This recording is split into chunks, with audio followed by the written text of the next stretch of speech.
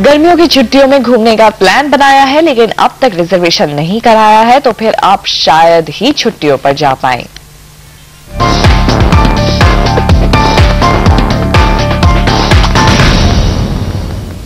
आप गर्मियों के मौसम में छुट्टियों पर कहाँ जाने की सोच रहे हैं? वैसे आप जितने पैसों में गोवा या केरल जाते हैं, लगभग उतने ही पैसों में थाईलैंड या मॉरिशियस जैसी जगह का ट्रिप लगा सकते हैं। निशांत जैन बता रहे हैं कि इस बार गर्मियों में आपके लिए किस तरह के ऑफर्स होंगे? लोकल डेस्टिनेशंस में अगर आप दिल्ली से गोवा या फिर केरला जाने की सोच रहे हैं तो एक बार फिर सोच लें, क्योंकि इससे कम पैसों में आप थाईलैंड या सिंगापुर का एयर ट्रेवल कर सकते हैं, जहाँ थाईलैंड का रिटर्न टिकट आपको पड़ेगा करीब 10 से ग्यारह हज़ार रूपए वहीं गोवा के रिटर्न टिकट के लिए आपको खर्चने होंगे कम से कम बारह हज़ार रूपए।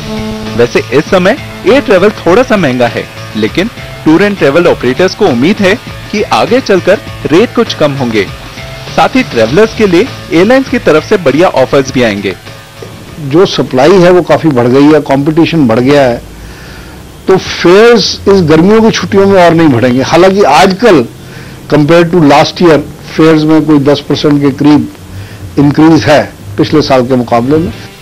विदेशी जगहों में लंदन, पेरिस, ऑस्ट्रेलिया और थाईलैंड, सिंगापुर जैसी ट्रेडिशनल डेस्टिनेशंस के साथ इजिप्ट और टर्की भी काफ़ी हॉट चल रहे हैं। इजिप्ट या टर्की जैसी जगहों के लिए आने जाने का एयर ट्रेवल का खर्चा पड़ेगा करीब 25 से तीस हज़ार रूपए, जबकि यूरोप जाने के लिए आपको खर्चने होंगे 30 से चालीस हज़ार रूपए। साउथ ईस्ट एशिया में भी सबसे हॉट जगह जैसे थाईलैंड और सिंगापुर का आने जाने का खर्चा आएगा करीब 10 से पंद्रह हज़ार रूपए। जो हॉलीडे डेस्टिनेशन है, उनकी फ्लाइट्स हम बढ़ा रहे हैं, खासतौर से श्रीनगर, जम्मू वगैरह की। तो उस पर जो जो रश होगा, उसको ईज ऑफ़ करने की कोशिश होगी। और कोशिश ये भी रहेगी कि कम से कम फेयर्स में अपने पैसेंजर्स को हम ऑफ़र करें। वैसे आप अपना ट्रिप जितना जल्दी बना ले, उतना अच्छा ताकि एयरलाइंस के इन्वेंट्री ऑफर्स ले सके। यानी पहले बुकिंग कराने पर शायद आपको कम पैसे देने पड़े। दीपक वाजपेयी के साथ निशान जैन, दिल्ली।